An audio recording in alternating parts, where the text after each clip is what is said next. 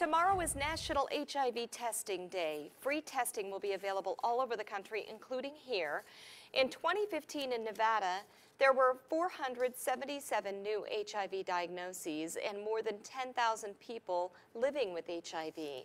We'll post all free testing locations on our website for you at ktnv.com.